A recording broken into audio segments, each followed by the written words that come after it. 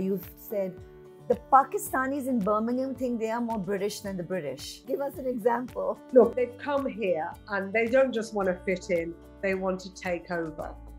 And so they want to run everything and they want to be more British than the British. They change their names to English names, okay?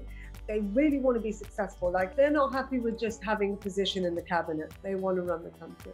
How did your parents adapt when they first came to the UK? In the 70s and 80s, Princess Diana was everywhere. My mum would go to the hairdressers and say, make me look like Princess Diana. She'd wear Diana dresses, Diana hair, and then they started developing very British mannerisms like we all celebrate Christmas, tree, presents, everything.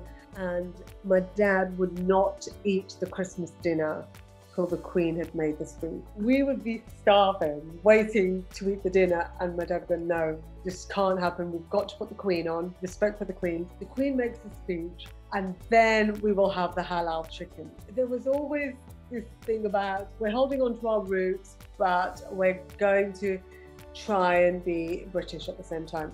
So it had to be halal chicken. Halal, always halal. And then they had the Christmas tree with an angel at the top, but they coloured the face in brown so that um, it was kind of a compromise.